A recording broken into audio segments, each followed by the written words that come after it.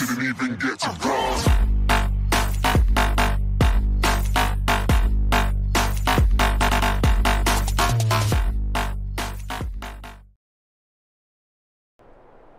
Hallo liebe Leute und herzlich willkommen zurück zu einer weiteren Mod-Vorstellung hier im LS22. Und zwar schauen wir uns heute mal in der LKW-Abteilung nochmal etwas genauer um, denn da gab es ja, ja, was relativ schönes, wer auf amerikanische LKWs steht, nicht wahr? Ja, und zwar von Lizard Motors, den AW362 Cap-Over. Ne, ein DD60, dann gibt es hier noch ein Cap-Over-Dock und ein 8V92. Gucken wir uns mal kurz an. Hier fallen mir eigentlich relativ gut die Dinger. Und ja, ne, da ist das Gerät, der ist recht günstig. Der kostet 30.000, so wie er hier steht, hat 330 PS, fährt 95 km/h.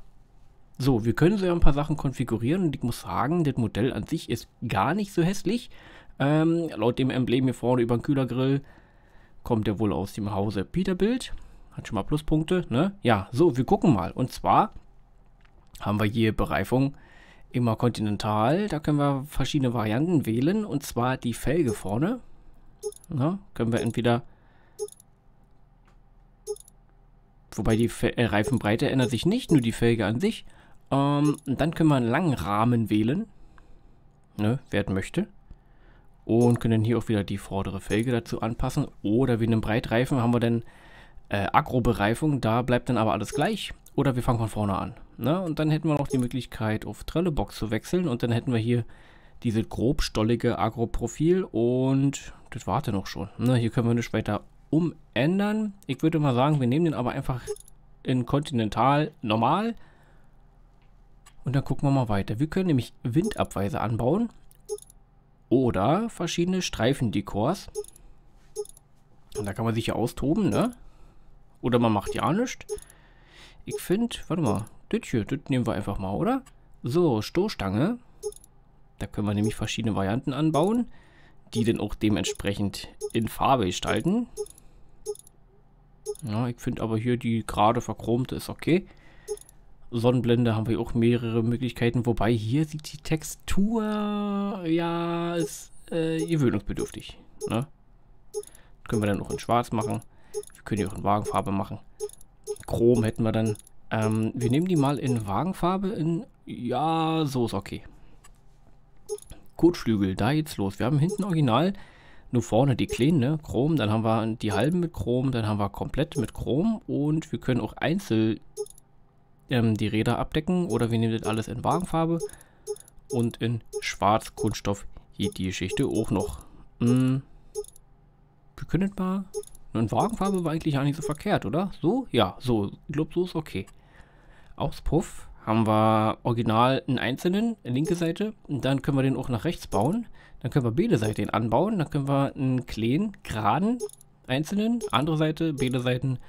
Oder einen etwas höheren Schornstein einzeln, beide. Oder wir können hier auch massiv, ne, so custom-mäßig, in so ein richtig dickes Ofenrohr ranbauen.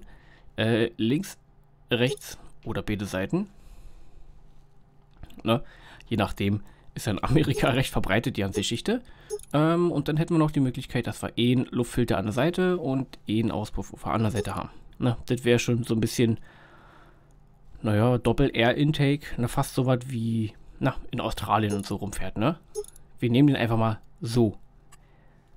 Dann haben wir Motorenausführung. Ähm, hier geht es auch um die Getriebe. 330 PS mit einem 11-Gang, mit einem 13-Gang mit einem 15-Gang oder mit einem 18-Gang. Dann haben wir 350 PS 11-Gang, 13, 15, 18-Gang und 375 PS mit 11, 13, 15 und 18-Gang Getriebe, 400 PS in den Getriebe-Varianten und 430 auch nochmal in den Getriebe-Varianten und dann fängt die Sache von vorne an. Ne, wir nehmen mal den Originalen. Da kann man sich ja aussuchen, was man haben möchte und wie man hier sieht, der Innenraum ist ja nicht so hässlich. Werden wir uns aber gleich anschauen. Ähm, Hauptfarbe. Können wir hier natürlich in den verrücktesten Farben wieder durchkonfigurieren, der Gerät. So, ja. Sind aber sehr viele komische Farbtöne dabei. Aber ist okay. So, wir nehmen halt dieses Gelb hier. Dann Designfarbe. Hier können wir wahrscheinlich die Streifen, genau, die können wir in einer anderen Farbe einfärben. Und Felgenfarbe hätten wir hier noch in Chrom, in Grau, in Weiß und in Schwarz. Ich muss sagen, weiß steht ihm recht gut, ne? So, ein Kennzeichen sparen wir uns. Der kostet 32.500. Das geht vollkommen klar. So, komm, den schauen wir uns mal an. Weil die Modelle an sich sind vom, vom Aufbau alle gleich. Und ich muss sagen, von der Textur her auf jeden Fall vertretbar. Ist ja auch nicht so hässlich, oder? Guck mal, recht detailreich. Vorne mit den Nieten und alles. Scheinwerfer mit Zusatzlampen. Na, das geht eigentlich. Griffe, Spiegel, Griffe, Chromleisten, Felgen, Tritte, Tank, ne? Alles da. Die Reifen sind vernünftig, die Räder sind vernünftig, Fahrwerk mit Luftbälge, Kardanwelle, Getriebe. Was willst du mehr? Ein paar Leitungen sind dran, ne? Hinten der Halterahmen für die Auspuffanlage, Luftfilter. Alles supi. Ist ein schönes, solides Modell. Hier ist nicht viel dran, ne? Hat auf dem Dach Lampen. Hat Hupen. Warte mal, wir können ja mal hupen. Die ist recht laut. Der hätte ich mir vielleicht irgendein Horn gewünscht, aber hey. Ne? So, das ist Standlicht. Da haben wir hier schöne Weihnachtsbaumbeleuchtung ringsrum, vorne, hinten, ne? Geht aber. So, dann hätten wir hier Abblender. Da gehen dann von den Hauptscheinwerfern zwei an und Scheinwerfer gehen dann alle. Rundumleuchten haben wir nicht. Wir haben noch einen Blinker. Ne? Vorne, an der Seite und hinten. Andere Seite genau die gleiche. Ja, wollen wir mal starten?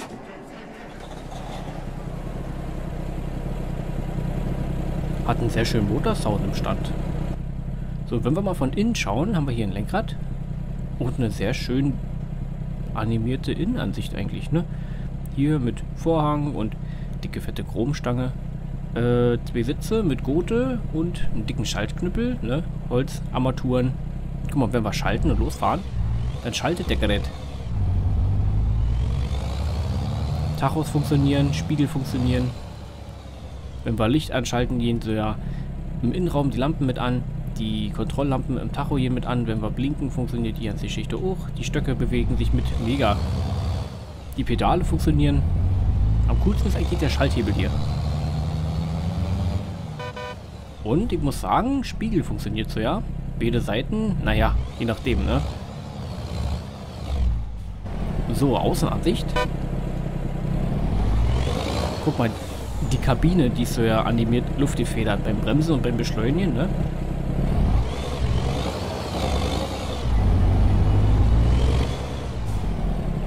Das ist ein schönes Teil, gefällt mir. Hat einen sehr schönen Motorklang.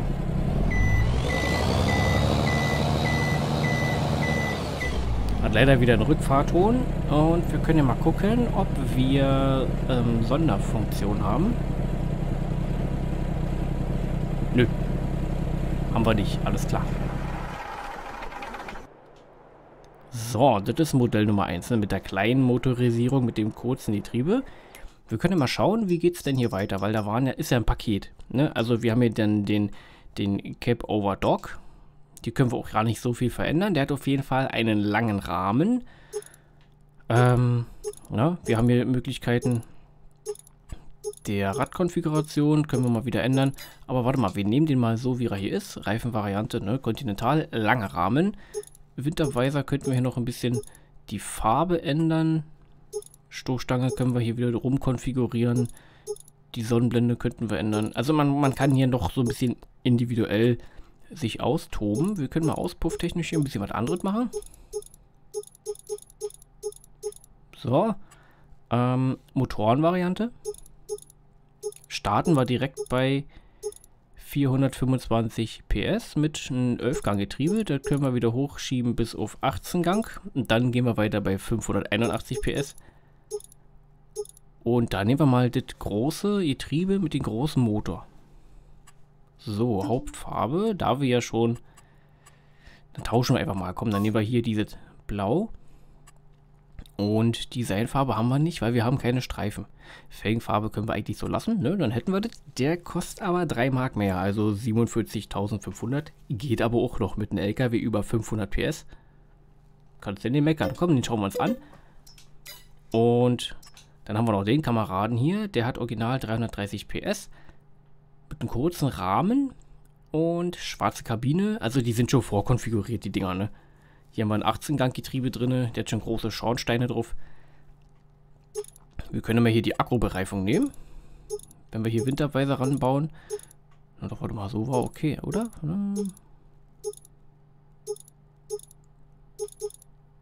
So. Stoßstange lassen wir mal. Ändert sich ja nicht viel, ne? Wir können hier vielleicht mal einen anderen Auspuff ranbauen. So. Äh, Hauptfarbe lassen wir mal schwarz. Designfarbe auch. Felgenfarbe ist okay. Der kostet 34.500. Hier können wir keine Motorenvariante ändern. Der bleibt, wie er ist. 330 PS mit dem großen Getriebe. So. Ne, also wie gesagt, vom Modell her sind die alle gleich. Der Kamerad hier in der Mitte, der hat halt den längeren Rahmen.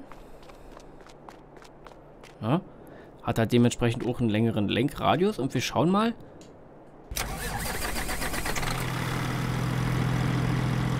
Der hat auch einen anderen Motorsound. Hat auch eine andere Hupe. Beleuchtung ist die gleiche.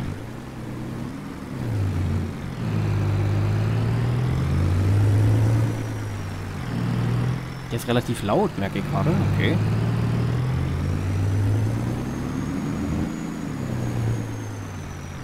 Aber fährt verdammt gut.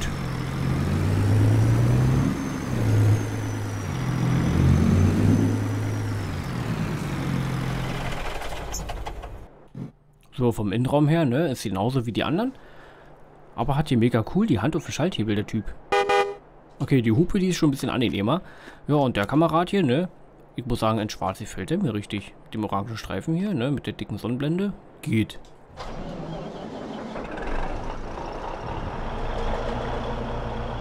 Ich glaube, der klingt nochmal anders wie der andere, oder?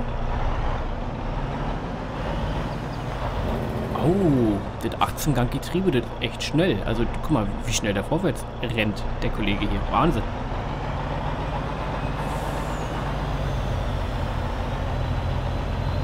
Oha, Oh, beim Abtouren hat er einen sehr schönen Motor geräuscht.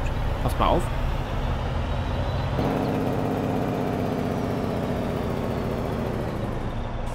Immer ohne Quatsch. Das ist ein sehr schöner LKW. Okay, hat wieder die andere Hupe. Alles klar.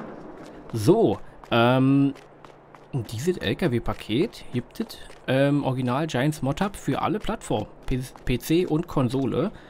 Ähm, wie das genau heißt, schreibe ich euch wieder in die Videobeschreibung. Und dann schauen wir uns mal weiter im Shop um. Gibt ja noch mehr. Und zwar bei der Abteilung Radlader relativ neu. Und zwar den Case IH W20E. Der kostet 65.000. Vom Preis her voll okay. Ne, ist ein kleiner knubbeliger Radlader hier. Wir schauen mal. Ne, hat einen relativ hohen Hintern, aber eine schmale, hohe Bauweise. Der ist relativ kompakt. Aber der kann so Sachen machen, ne? Der hat äh, 150 PS, das geht eigentlich.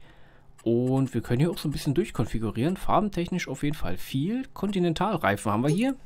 Und verschiedene Reifenprofile zum Wählen. Ich glaube, hier könnte auch für jeden was dabei sein. Wir nehmen einfach mal das hier. Dann hätten wir noch BKT. Hier können wir nichts verändern. Ne? So ein normales V-Stollenprofil. Vredestein können wir nicht verändern. Und dann sind wir wieder bei Michelin.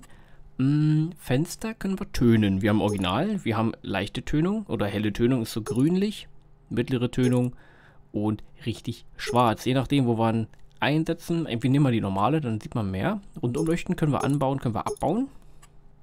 Ähm, Entnebeln von Spuren, was auch immer das bedeutet. Also man kriegt hier einen Rahmen ran an den Fenster, wenn man da mal schaut. Ja, wird wahrscheinlich für die Innenansicht eine Option sein. Wir machen einfach mal ohne, weil ich kann mir da nichts drunter vorstellen. Auspuff haben wir die Möglichkeit, dieses Rohr, was der hinten hat, in Chrom zu ändern. Und Hintergrundfarbe ist das nächste Ding. Ah ja, hier hinten, stimmt, seine Zusatzgewichte hinten am Rahmen, am Hintern quasi, die kann man in verschiedenen Farben durchkonfigurieren. Verschiedene schwarze und Grautöne und verschiedene Gelbtöne. Ne? So, Original ist halt Wagenfarbe wie der Rest. Dann können wir Anhängerkupplung vorne wählen. Hier, das ist immer Radlader oder kleiner Lader. Oder halt die Originale, wie sie mitkommt. Wir nehmen einfach mal Radlader. Das macht auch wirklich einen Unterschied. Also zeige ich euch, ist ja kein Problem. Hauptfarbe haben wir hier die Möglichkeit, verschiedene Orangetöne zu wählen. Ja. Leicht gelblich, leicht orange oder in schwarz, in grau, ne? also Anthrazit, so. Die heißen ja alle schwarz, durchnummeriert. Wir nehmen mal hier den Originalen. Hm, Farbe vorne. Das ist dann wahrscheinlich der Frontlader. Genau, den können wir auch in derselben Farbe machen. Ähm, seitlich hätten wir die Möglichkeit, hier die Kotflügel dann schwarz zu machen, zum Beispiel. Und die Kabine selber können wir auch in Wagenfarbe machen. Aber ich muss sagen, mit so einem grauen oder schwarzen Rahmen sieht die bald am besten aus. So, äh, Felgenfarbe natürlich noch. Könnte man so in orange oder gelb oder schwarz, je nachdem. Grau ist auch dabei. Wir machen die mal in schwarz. Ein Kennzeichen klemmen wir uns. Der ist immer noch recht günstig. Für 65.350 Euro geht er vollkommen klar. So, und den Kameraden gucken wir uns mal an. Also man kann echt viel durchkonfigurieren. Ne? Der ist jetzt hier ein bisschen langweilig, komplett in Orange, bis auf seine Kotflügel. Aber vom Modell her, von den Texturen, ist es okay. Ja? Ist sehr kompakt, man kann nicht viel sehen. Hier seine Lenkhydraulik ist auf jeden Fall am Start mit einem äh, Warnschild, Hydraulikleitung sind da, Anschlüsse, ne? ein schön Kühlergrill, man kann durchschauen, bis auf die Kühlerlamellen vom Motor. Rückleuchten sind hinterm Gitter versteckt. Ne? Tankstutzen hat er hier auch, der hier an der Seite rauskommt. Hat einen Stickel für die Heckkupplung, die funktioniert auch, da kann man Anhänger anhängen, ja. Habe ich schon getestet, geht. Auspuff hat er, eine dicke, fette Heckscheibenheizung. Naja, und von außen, ne, das war dann auch schon. Ist halt ein Radlader. So, von drinne hat er Hebelei, ein paar Pedale, Fenster, Lenkrad, Spiegel. Wenn wir starten, schaut mal auf den linken Hebel beim Fahren. Ist die Gangschaltung, also er schaltet. Ja, wir haben nicht nur Sound, dass er schaltet, sondern er schaltet halt wirklich. Finde ich mega cool. So, wenn wir den Frontlader bewegen, dann gehen auch die dazugehörigen Hebel mit in der Kabine. Und das ist schon viel wert. Finde ich sehr schön. So, von außen ist er halt vom Sound, naja. Ist halt keine große äh, Sound-Wunderwaffe, aber nö, der macht halt Krach und ist okay. Wir haben vorne Abblendlicht, wir haben Arbeitsscheinwerfer nach hinten. Die sind oben drin, ne? Dann haben wir Arbeitsscheinwerfer vorne und wir haben aus. Rundumleuchten. Wir haben Blinker. Wir haben eine Hupe. Okay, also was willst du mehr, oder? Ähm, wir gucken mal. Denn passend dazu, wir nehmen den mal in der Konfiguration einfach mit der Anbaufunktion da vorne. Warte mal, Fenster eventuell. Fenster. Wir machen mal die grünen Fenster rein. So, warte mal, dann gucken wir mal nochmal durch. Friedestein. Eigentlich ist es wurscht. Ähm, machen wir mal die dunklen Fenster rein, nur um zu gucken, wie der Unterschied ist. Und dann nehmen wir Anhänger, äh, Ankupplungsvariante hier vorne die kleinen. So. Passend dazu kann man ja in Kombination, weil in dem Paket ähm, sind auch gleich die Anbaugeräte dafür mit bei. Eine Ballengabel, eine Palettengabel, ein Ballensammler, eine Molle, also eine Schaufel und na, ein Big Pack. Kran ist hier mit bei. Wir nehmen mal die Schaufel, da können wir hier nämlich verschiedene Sachen machen. Ne, wir können vorne die Zinken wegmachen, wir können äh, Zwischenprallwände, ja, ne, so eine Sachen. Die können wir hier auch in allen möglichen Farben durch anmalen, wie wir gerade wollen. Wir nehmen die mal in Original. So, dann hätten wir hier noch eine Palettengabel. Da können wir nämlich oben noch ein Gitter ranbauen. Können wir hier auch farbtechnisch wieder durchkonfigurieren. Und wir können hier das Design, also wir könnten die komplett in Orange machen, ne? So. Ankuppelmöglichkeiten. Wir können nämlich auch, was ich sehr gut finde, wenn wir jetzt mal zu den Frontladerwerkzeugen gehen, was für mich persönlich sehr wichtig ist, das Verladetool. Uns mal genauer anschauen. Und zwar, ähm, die sehen ja alle gleich aus hier, ist ja kein Problem, ne? Ja, die haben auch alle die gleichen Funktionen. Unterschied macht aber wirklich vorne der Frontladeranbau, welches ihr gewählt habt. Und was ich euch wirklich nicht unbedingt empfehlen kann, zeige ich euch jetzt einfach. Oh, oh. Na, also Innenansicht ist hier doch wirklich ganz schön dunkel. Man sieht ja nicht mal so viel. Du musst jetzt theoretisch Licht anmachen und siehst du wirklich nicht viel. Junge, Junge. So, darum jetzt nämlich, wenn wir das hochfahren. Ihr müsst mal den Winkel betrachten. Das macht sich besser, wenn man überall die gleichen Geräte anbaut. Man kann die Rahmen nicht alle bis Anschlag hochfahren. Das sieht generell sehr merkwürdig aus. Wenn man bei irgendeinem war das gerade nicht so cool. Warte mal. Was ist jetzt der Vorführeffekt?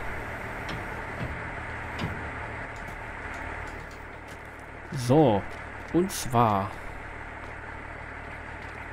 Genau, dadurch, dass der hier vorne den Rahmen hat.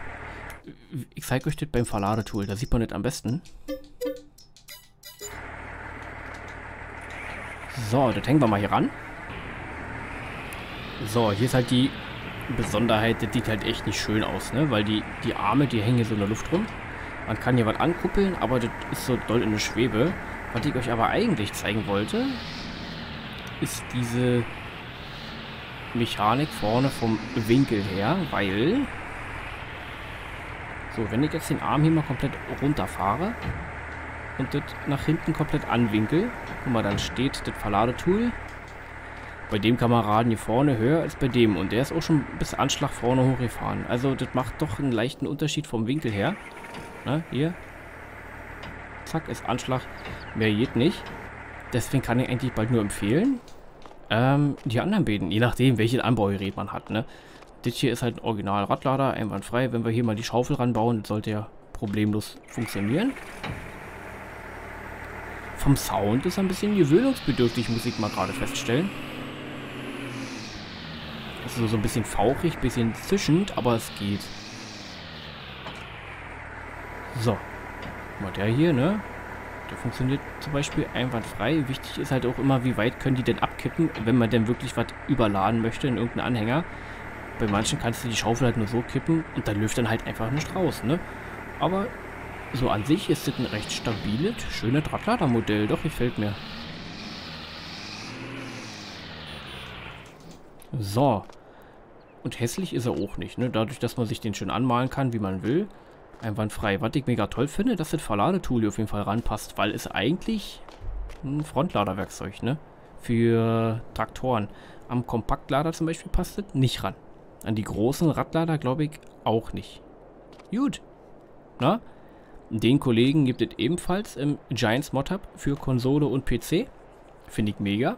Finde ich sehr praktisch, vor allem sehr preiswert und sehr funktional mit allen Gerätschaften, die man dazu bauen kann. Ballenspieß, äh, Ballengabel, Palettengabel, Schaufel. Ne? Man kann andere Sachen anbauen. Man kann die vorne die, die, die Anbaugeräte hier, je nachdem, was man gerade haben möchte, kann man auch ändern. Ne? Sehr schön. Also die Konsole ist variabel. Schöne Sache, gefällt mir. Sound ist so, naja, dafür ist der Rest von der Konfiguriermöglichkeit wieder okay. Und es geht weiter. Und zwar bei Autos. Habe ich was gefunden, wo ich mir so dachte, ja, ist eigentlich mega cool. Und zwar der Gerät. Ähm, Glens GMC Farm Truck. Der kostet 500 Euro. Der sieht echt aus wie dreimal abgesoffen, aus dem See rausgezogen, irgendwie als Zielscheibe benutzt, drauf geschossen und dann einfach draußen im Regen stehen gelassen, weil der hat hier richtig Rostlöcher. Guck mal hier eine Pritsche hinten. Und da sind richtig Löcher drin, die fressen. Also irgendwie hat das Ding ja schon wieder Charakter. Der ist, eigentlich ist er massiv hässlich. Aber irgendwie ist er auch cool. So, wir können sehr noch konfigurieren. Wir können äh, vorne die Radkappen abmachen. Wir können hinten die Radkappen abmachen. Wir können überall welche ranmachen, ne? So, das war denn schon. Kostet 2 Euro mehr. Das Ding kostet 502 Euro. Hat 162 PS. Ähm, ne? Und fährt schnell. So, wollen wir uns den mal angucken. Irgendwie mag ich das Ding. Ohne Quatsch, irgendwie ist der cool. So, und zwar steht der da. Guckt euch das an. Schön ist der nicht. Also mehr Beulen und Rost und Löcher geht gar nicht. Ne, der sieht aus wie von irgendeinem anderen Spiel. Irgend so ein, so ein, so ein Nebenmodell, was einfach nur so rumsteht, ne? Aber der hat hier Rückleuchten, der hat eine Anhängerkupplung. Ja, ganz vornehm. Innenraum, Scheiben zerdroschen. Ja, als hätten da schon Waschbären drin gewohnt. Mehrere Generationen sogar. Ne? Kühlergrill fehlt, Stoßstangen verbogen. Ja, texturtechnisch ne, hat er den eigentlich recht gut hingehunzt. Sag mal, wir steigen mal ein. Innenansicht ist ganz schlimm. Steckst den Kopf erstmal durch die Scheibe. Ja, also wenn, dann fährst du hoffentlich in der Außenansicht. Wobei hier hast du freie Sicht nach draußen, ne? Die Umwelt kannst du besser ja nicht wahrnehmen. Aber so an sich, irgendwie hat er was. So, wir machen mal Licht an. Das funktioniert so, ja? Das eine Auge da vorne schielt ein bisschen, guckt nach unten, aber es geht. Ne? Wer hat Scheinwerfer? Hinten funktionieren auch beide. Die sind auch schief. Eins guckt nach oben, das andere guckt nach hinten. Sehr schön. Der hat eine Hupe. Man kann hinten nur die Klappe aufmachen. Man kann sehr Spanngurte anbringen. Guckt euch das doch mal an. Wie verfault hier hinten alles ist. Also die Pritsche, die ist ja fast ja nicht mehr da. Die hält nur noch durch, äh, ja, ne? Irgendwie gefällt er mir. Alleine schon, weil er so ist, wie er ist. Ja, der hat so leichte Stabprobleme. Hat zwei Auspuffrohre. Und wenn er läuft, dann läuft er. Ne? Frisst ein bisschen Wasser, qualmt ein bisschen. Und was schleift beim Fahren.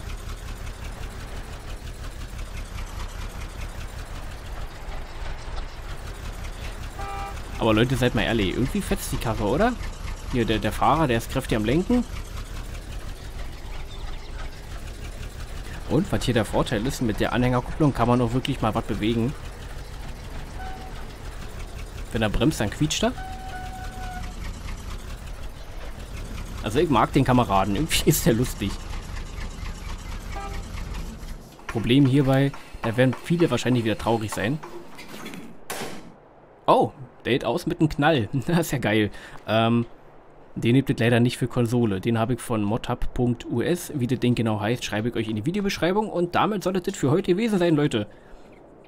Ich denke mal, da sind ein paar schöne Sachen dabei, oder? Also den mag ich ja besonders. Alleine, weil das total die Runkel ist. Irgendwie hat er was. Ja, gut. Die LKWs hier fallen mir vom Sound und der Radar das cool, weil er halt so Sachen kann, ne? Also, ich sag vielen, vielen Dank fürs Zuschauen. Bis zum nächsten Mal. Macht keinen Quatsch. Rinne hauen.